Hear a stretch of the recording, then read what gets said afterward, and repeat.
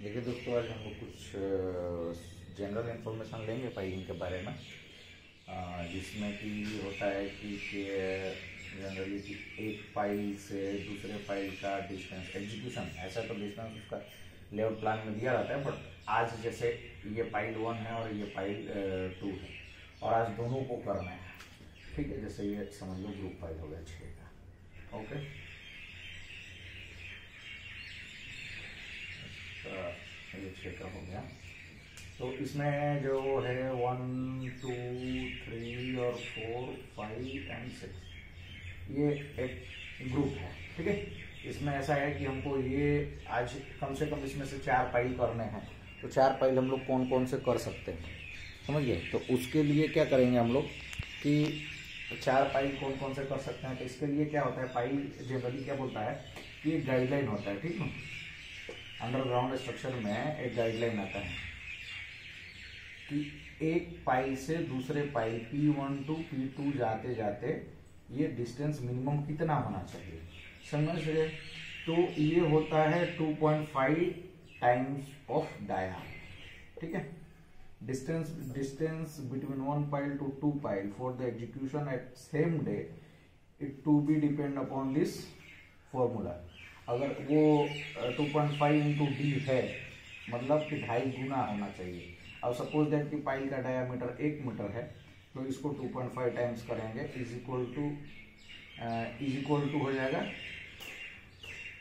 पच्चीस ओके तो ये इतनी एम mm रहेगा तो ही आ, जो है वो एक पाइल से दूसरा पाइल हम लोग कर सकते हैं। अदरवाइज़ ये पाइल हम लोगों को नहीं करने को मिलेगा। इसके बदले में हम लोग दूसरा कोई पाइल ले लेंगे, जो उस लोकेशन में होगा, उसको करना पड़ेगा, ठीक है? जो उस क्राइटेरिया से अबव होगा।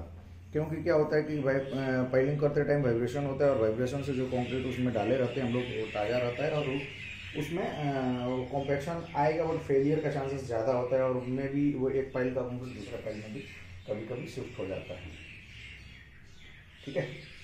तो ये एक जनरल कंडीशन है, ये एक जनरल कंडीशन अभी जैसे क्या होता है एक पाइप ये हो गया, समझ गए? और एक ये हो गया. दोनों के बीच का डिस्टेंस बारह सौ एम है.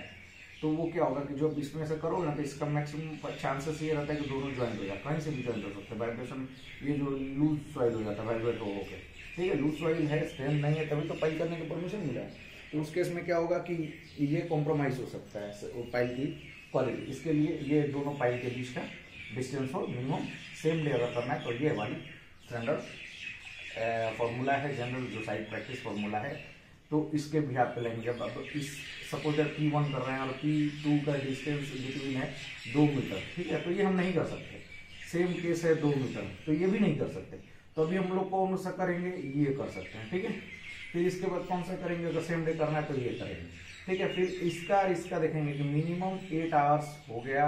या नहीं। अगर minimum eight of eight eight to twelve hour का ये डिफरेंस रखा जाता है। अगर इस इस फ़ाइल से इस फ़ाइल पे जाने में अगर हमारा एट आवर्स से अब हो गया कंक्रीट कंप्लीशन के बाद, ठीक है तो हम लोग ये फ़ाइल फिर अगर ये पाँच के बाद फिर दो, तीन और छः करेंगे। जनरली यही सीरीज़ फॉलो होती है। अदरवाइज़ ये क्या होगा कि ये करो या तो वन करो, ठीक है, ये एक जो डायमंड शेप हो गया था और दूसरा शेप ये है। या तो ये करो, इसके बाद ये करो। ठीक है? ये करो और ये करो। फिर ये करो और फिर आइडल बैठोगे तो ये वाली फॉर्मेट जो है, वो इजी एग्जीक्यूटिव एग्जीक्यूट हो सकता है। ये करो ये करो ये करो और फिर ये करो ये करो ये करो। ठीक है? तो जो इसका इसका टाइम इससे मैच पैरेलल नहीं हो जाएगा, ज़्यादा टाइम हो जाएगा इसका टाइम तो ऑलरेडी ज़्यादा होगा, तभी इसको स्टार्ट करोगे। तो एक टाइम मैनेज करोगे तो पूरा साइकिल मैनेज हो जाता ठीक है? एक ये होता है कि एक पाइल से दूसरे पाइल की मिनिमम डिस्टेंस एट साइड कितनी होनी चाहिए? तो उसका ये फॉर्मूला है, ठीक है? दूसरा चीज़ ये है कि किसी भी जैसे कि अब हम लोग वेल्डिंग कितना करते हैं, ठीक है? ये जनरल चीज़ें हैं जनरल इंफॉर्मेशन है जो कि इंजीनियर को जानना बहुत ज़रूरी है। तो वेल्डिंग कितना होता है? तो डाया इंटू हंड्रेड ठीक है? ये हंड्रेड एम जितना है डाया उससे हंड्रेड को मल्टीप्लाई कर देंगे। ठीक है? टे sorry sorry sorry dia into ten M M अब डाया इंटू टेन डी होता है जनरली टेन डी होता है ओके ये है उसका स्टैंडर्ड फॉर्मूला कि टेन डी अगर है तो इसको कैसे लोगे अब जैसे सपोज़ बत्तीस एम का सरिया है, ठीक है? तो बत्तीस बत्तीस इंटू टेन करो इजिकल टू तीन सौ बीस एम एम होता है। तो यानी कि ये एक लैप हो गया। ये स्टील हो गया मेन स्टील ठीक है? ये एक लैप हो गया। अब इस लैप में हमें 320 सौ बीस mm का वेल्डिंग करना है। तो कैसे कैसे वेल्डिंग करोगे?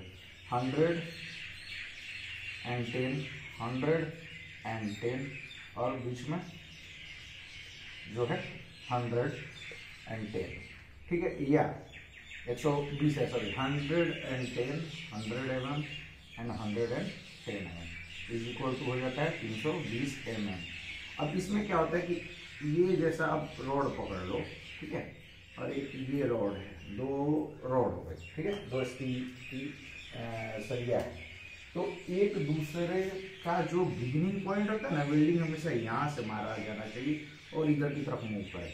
दूसरे बार वेल्डिंग ये नौ, ये जो उसका एंड पोर्शन है, वहाँ से स्टार्ट करके इधर की तरफ़ मूव करनी चाहिए ये नहीं कि अब ये सरिया आप पकड़ लो और इसमें यहाँ से पकड़ के यहाँ तक मार दिया हाँ सर हो गया, चलो लेपिंग करो, डालो। This is not good and this is not good for our structure so ठीक है? इसके लिए ये चीज़ें हम लोग इम्प्लीमेंट करते हैं। तीसरी कंडीशन है, ये आपने सीख लिया, ये आपने सीख लिया। तीसरी कंडीशन एक देखो, आपको एक और मज़ेदार चीज़ बताता हूँ। चलो वो नेक्स्ट वीडियो में बताऊँगा ओके थैंक यू सब्सक्राइब करो यार, बहुत कम सब्सक्राइबर हैं हमारे।